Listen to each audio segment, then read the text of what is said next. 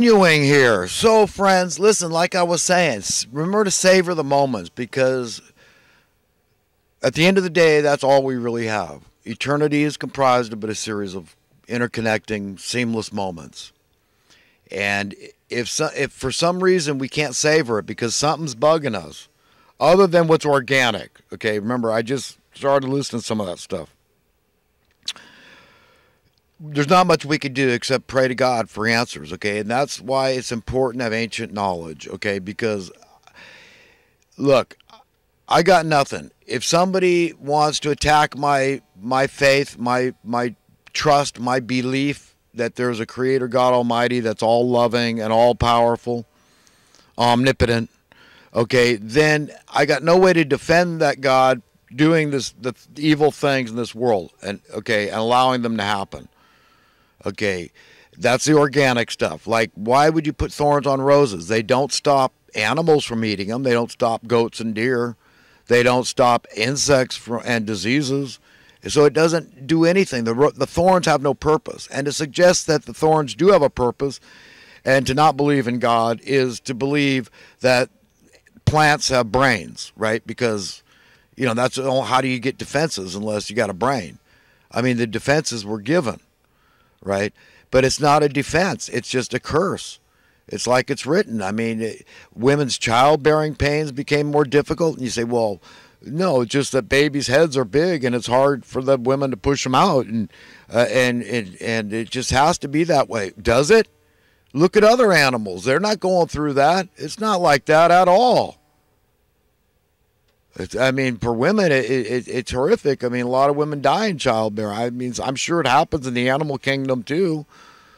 But God could have made that child, the baby, come the size of a mouse. That's not going to hurt any woman, right? So what? Kangaroos do that, right? The itty bitty tiny things come out. They're big creatures. Some of them big as humans, maybe bigger. I don't know. But I'm just saying that's the only answer I have. And the thorns on the road, it all came from the original sin, the fall of man, and the subsequent curse that befell the earth. We basically humans screwed it up, not us personally, maybe, but our ancestors did. We've got to be, take the responsibility. It's in our genes. We can't run from it. It's just accepting the fact. So we are responsible. Our ancestors were, and by extension, we become responsible for screwing it up for all the other creatures on earth. We screwed it up. That's why they're all afraid of us. I mean, you know, the hunting and all this. Well, they're smart. I mean, do they know? What's the instinct? They know there's something wrong with that species. There's something weird going on. They, they don't trust us, right? It's not, you know, to domesticate an animal takes some time. You know, trust them. And a lot of time they just trick them. Like, look at the cattle that we raise and just lead them to slaughter, no problem. But, uh, you know, friends, listen, we're in a lot of trouble because we're way, way, way down this demonic rabbit hole toward hell, the way I like to put it. Okay, we're, we're, we're eyeball high in this, this, this sewer pit, okay, of madness. Okay, and they want you to believe it, keep trusting it. I'm telling you, jump ship. At least in your heart and mind, you can get off this this mad, mad, mad merry-go-round okay because that's all it is because the people running the show are insane. They're mad and so that's all they have to offer us is madness. Okay and, and it affects us in our local communities and we got to stop blaming each other we got to point the finger at the causers of the problems. The policymakers at the top. This national debt i mean you think that's a joke?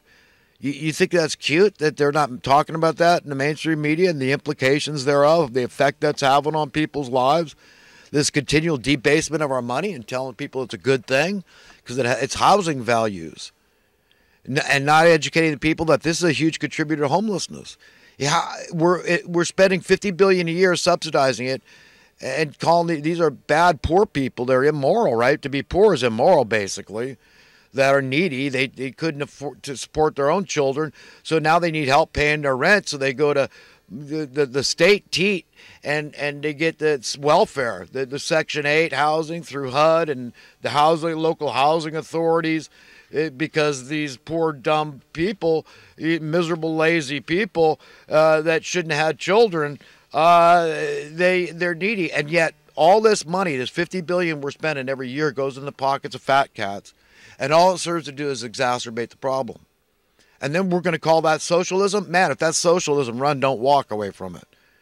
I mean, that that's evil. You, you understand that this is not by accident. This is not through incompetence. Okay, in in their wet dreams can they claim that at the very top, uppermost echelons. No way. No way. No way, man. This is through careful, evil genius, deliberation, collusion of various special interest groups, okay, who have a common interest, and that interest is contrary to the interests of the American people at large. That's it. I mean, if we've got any form of capitalism that that's not being played fair, then it's going to create this problem a rising tide of prosperity that lifts some ships to the highest heavens while, while it submerges others. That's what we've got. That's what we've got. And we're going to call that capitalism.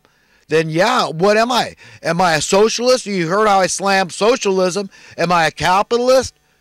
I'm an egalitarian, for God's sake. I'm a logical thinking human being that just wants problems fixed, that wants things to get better, not for some selective people in society, but for everybody. Ever so gradually, it doesn't matter. But I want evidence, I want to see it. And I'm not. And we're in trouble.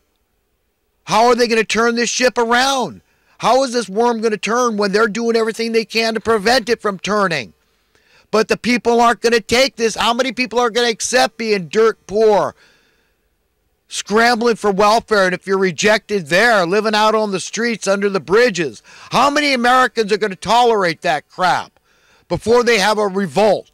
That's what they don't. They, they, they don't want to. They don't want to upset the apple cart. These evildoers, they see that they're writing on the wall. That's why they're sending people all this money.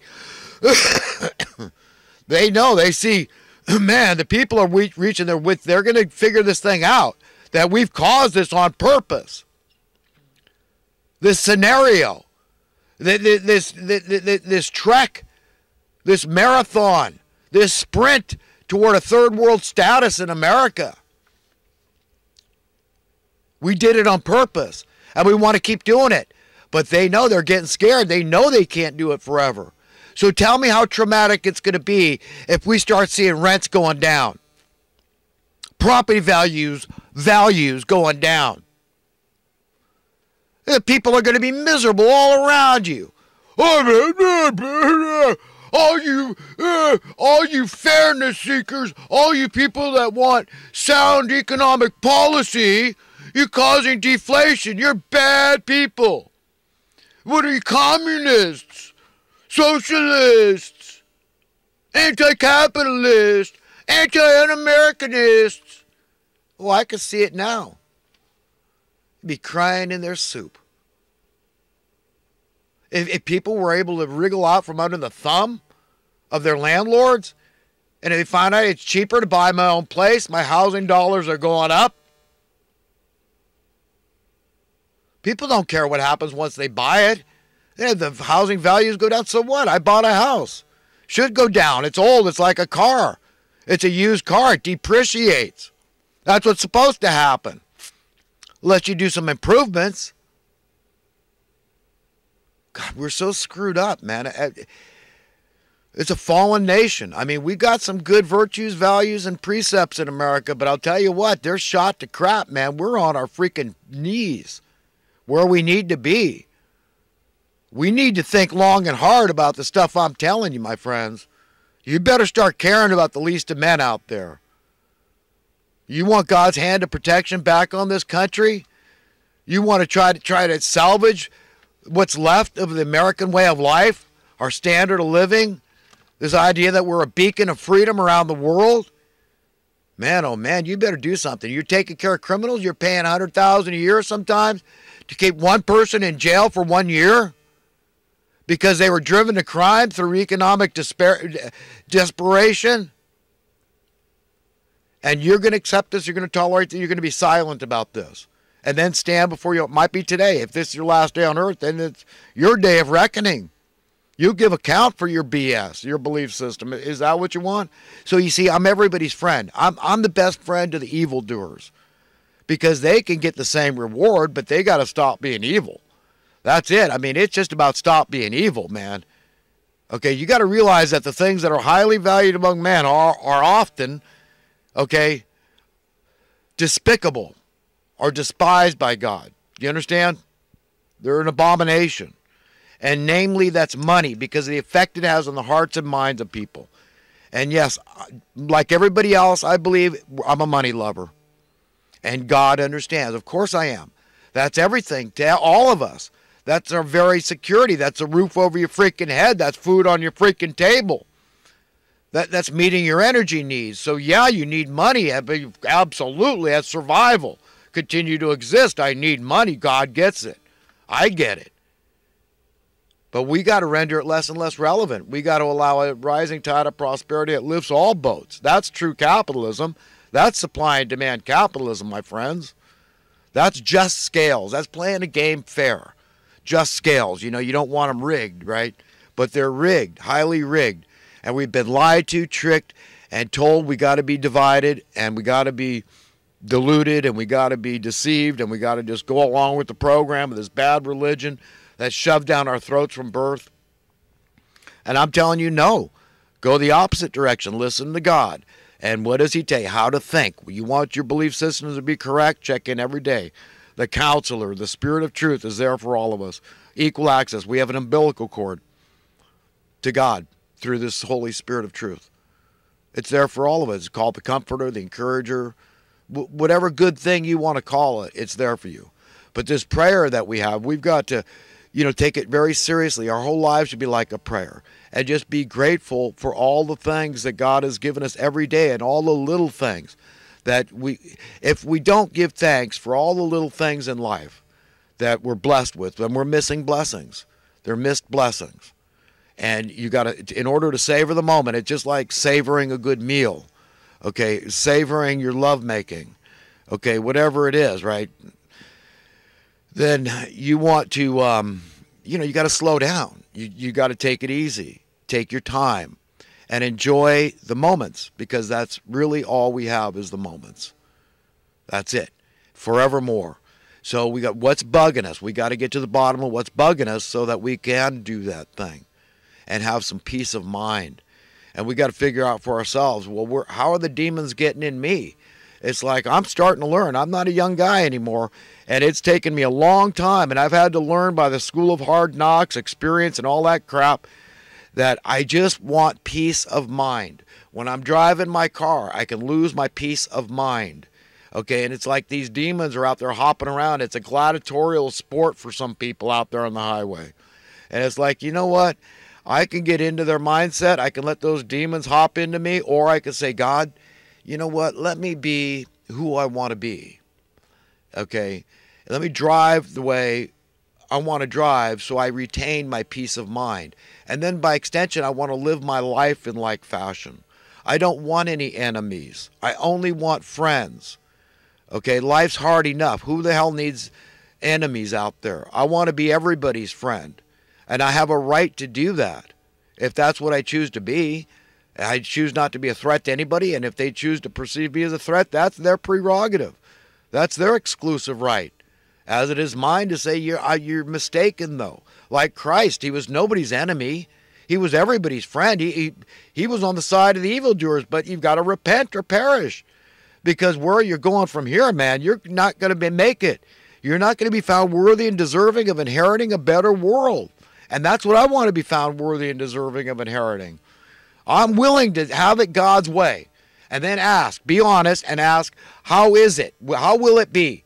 Well, there cannot be any form of money because see how easily it corrupts the hearts and minds of men. They love money more than they love relationship with God or their fellow human beings. Okay, they like that advantage, that one up. And often in this world, they put them on a pedestal as exalted, as you know, wow, you've you've arrived, you're famous and you you know rich, and you, you know, wow, you're somebody, and and you deserve it, and you get all the accolades and all that crap, and people's egos, and they feed off that. It's like, what the hell's the ego? It, it's, it's, it's perishing. It's, it's nothing. It's nothing. You're to stand before God with your ego? And how you what who the hell are you? The righteousness of men is, are filthy rags to God.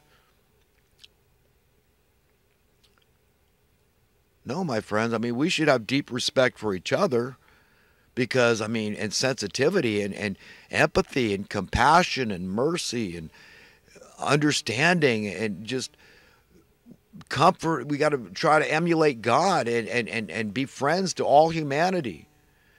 We've got to really love and care. To care, to love, we've got to care. Caring is